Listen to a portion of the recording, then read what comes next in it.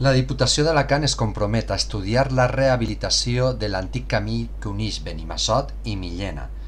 El diputat de Carreteres, Alejandro Morant, ha visitat els municipis de Benimassot i Millena a la comarca del Comtat per a conèixer de primera mà l'estat de l'antic camí que uneix amb dues poblacions i estudiar la possibilitat d'incluir el seu asfaltat i rehabilitació dins del Pla de Camins Supramunicipals que impulsa la Diputació d'Alacant.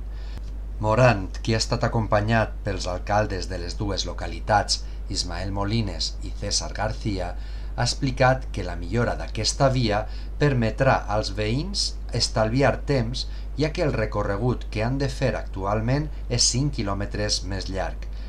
Tanmateix, facilitarà la connectivitat amb la capital de la comarca, Alcoi, amb la AP7 i amb altres nuclis urbans i polígons industrials ubicats en municipis com Muro o Cocentaina. La inversió estimada pel diputat després de visitar la zona